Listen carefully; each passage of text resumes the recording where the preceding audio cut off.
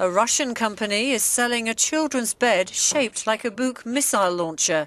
It boasts a Russian flag and a base that lifts to resemble a missile ready for launch.